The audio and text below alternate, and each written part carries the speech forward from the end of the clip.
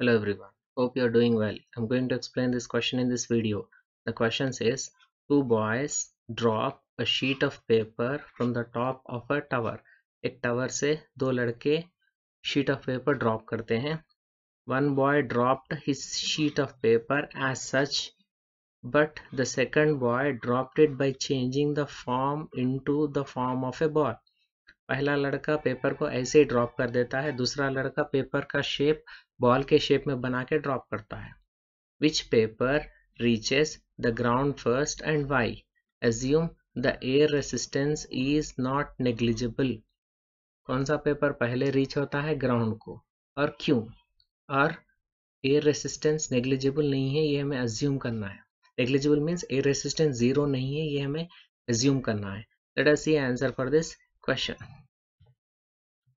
air resistance air resistance is proportional to proportional to the surface to the surface area क्या है resistance proportional है किसको surface area को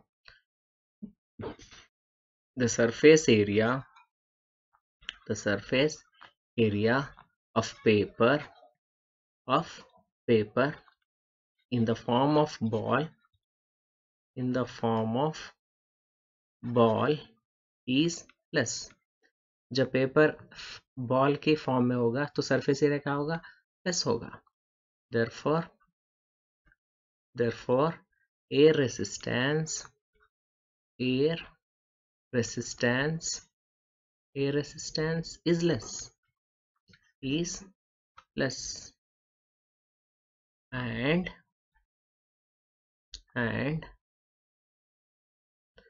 the net force and the net force vertically downwards vertically downwards will be more will be more because of this because of this the paper the paper in the form in the form of ball in the form of ball will reach will reach the ground first the ground first जब surface area कम होगा तो air resistance कम होगा। जब air resistance कम होगा तो नेट फोर्स जो वर्टिकली डाउनवर्ड्स